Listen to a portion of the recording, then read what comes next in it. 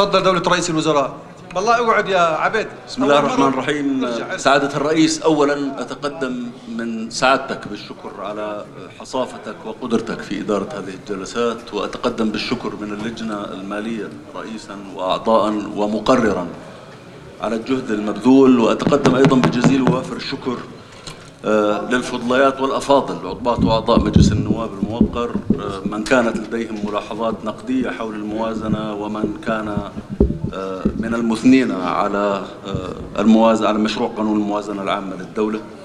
آه، التوصيات آه، هي توصيات آه، في جلها سنسعى بدأب على تحقيقها آه، احتراما لقاعدة آه، أن هناك شراكة في خدمة الوطن ما بين آه، آه، مجلس الوزراء والحكومة وهذا المجلس الموقر وأيضا لحصافة الكثير من هذه التوصيات.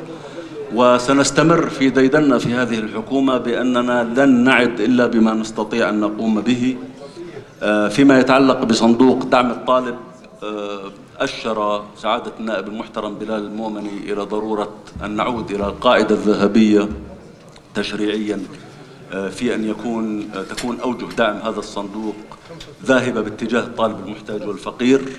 وتأسيسا على ذلك فإن الحكومة ملتزمة بالعمل على آه، على إصدار تشريع يرتكز إلى قاعدة أن الدعم بيوجه للطلبة المحتاجين في هذا الصدد وفي هذا الأساس. شكرا لك وشكرا للمجلس شكراً، وشكرا شكراً. لطواقم وزارة المالية دائرة ضريبة الدخل والمبيعات والجمارك. ولكل من من حضر معنا وللإعلام الذي غطى هذه الجلسات وأشكرك سعد شكرا. ترفع الجلسة.